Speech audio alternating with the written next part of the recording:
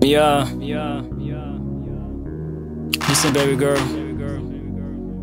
I don't know what it is, but every time when I meet you, I find myself reminiscing about all the times that I had with my ex girlfriend. Not that I don't love you, but that's crazy.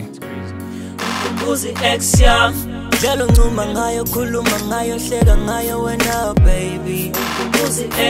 Amehlo wakho uthando lwakho qobo lwakho konke kwakho baby.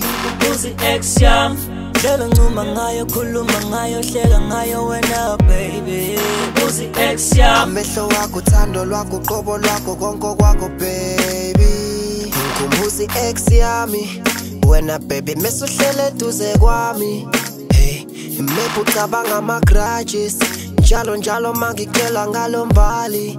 Hey mele wazi ukuthi angidlali. Mangikufanisa nombali senza ifani.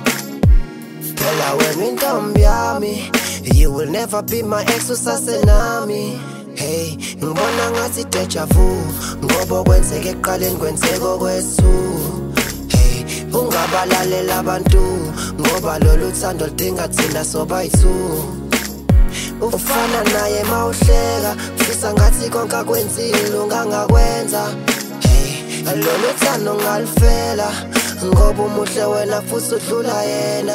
Kodwa Umkhumbuzi ex yami Dlala uncuma ngayo khuluma ngayo hleka ngayo wena baby. Umkhumbuzi ex yami amehlo wakho uthando lwakho uqobo lwakho konke kwakho baby. Umkhumbuzi ex yami Dlala uncuma ngayo khuluma ngayo hleka ngayo wena baby Umkhumbuzi ex yami amehlo wakho uthando lwakho uqobo lwakho konke kwakho baby Baby girl, I love you, and that's why I chose you.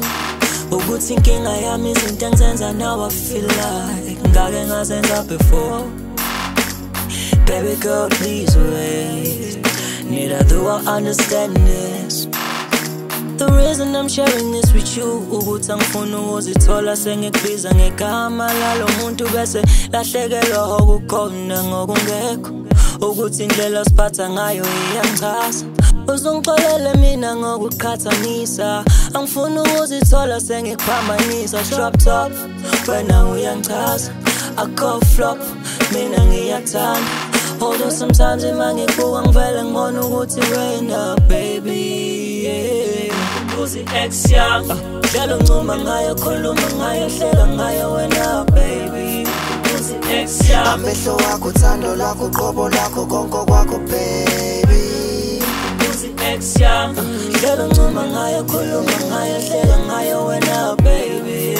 Uzi ex yami amehlo wakho uthando lwakho uqobo lwakho konke kwakho baby.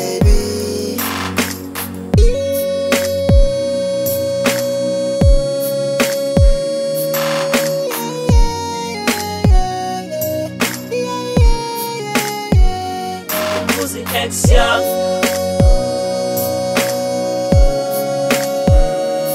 Uzi ex yami Uzi ex yami Yeah. So, Uzi ex yami yo. AYA. Yeah. Wada, wada. Yeah. Charm. So man records, please. suối đó. Again. Again. See you.